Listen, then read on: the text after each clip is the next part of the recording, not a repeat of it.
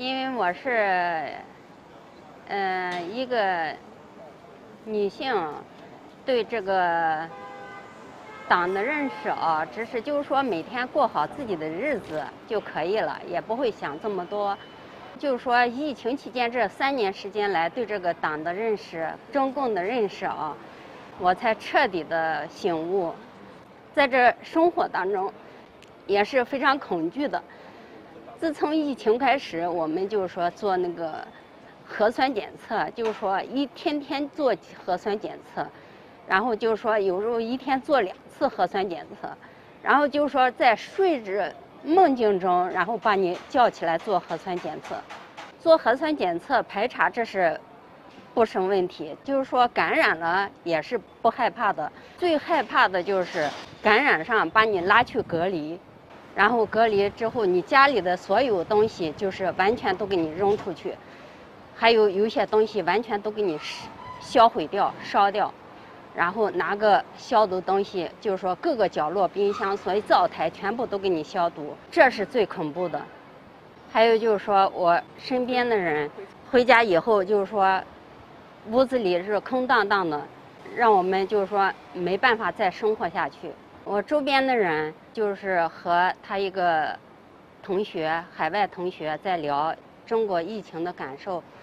然后就是正于这种情况下，电话被监听，然后半夜警察就敲门把我们这个朋友给叫走了，叫走就拘留了十几天，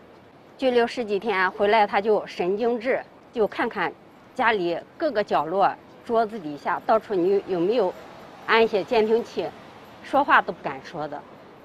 还有发生在我自己的身上啊，我和我儿子在交流打电话的时候，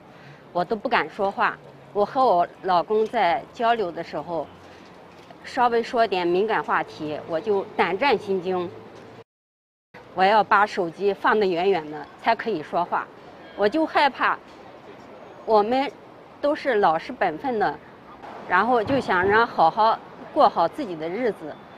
所以说我们在这恐惧当中，连说一句真话都不敢说。我给我儿子在说电话都被监听，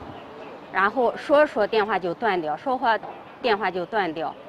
我儿子在国外上学，所以我和我儿子交流就不敢说一些别的话题，只是问他学习的情况、生活的情况。所以，就是说，我们每天做做核酸的时候，每天早晨起床第一件事就要打开核酸报告，我要看看我是阴性吗，或是阳性，所以我看完之后，我心才能放下来，今天我才能好好的过一天。一旦就是说要发现阳性，所以我一天每天就活在胆战心惊当中。我儿子在国外上学，就是说为什么跟他就是说聊一些别的知识，就是说。这些聊一些，你今天吃的什么饭？你今天呃怎么样？都聊这些事情，就是说别的我们正常的沟通交流交流一些话题。我因为儿子出去上学，就是说对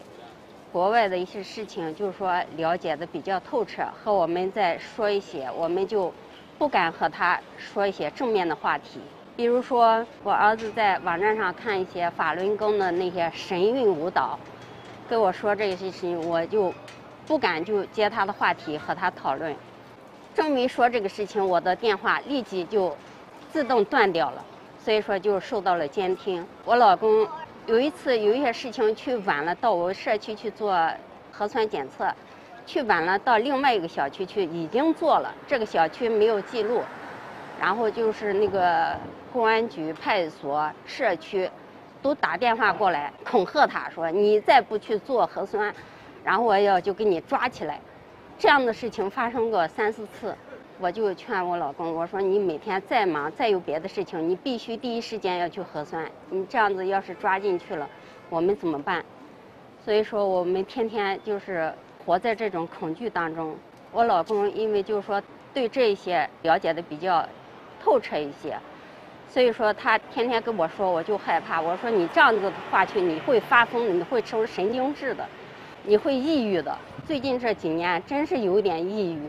退出党团队，我说这是一个最好的选择。我希望我们中国的同胞一定要意识这一点，你要觉醒嘛，一定要觉醒。所以说你现在生活在中国的这种真是水深火热之中，所以说让我们每天恐惧的生活，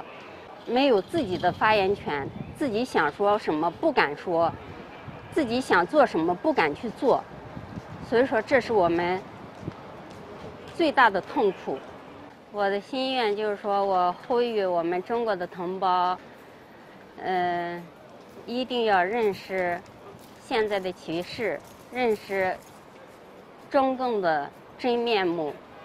一定要三退。因为我到海外，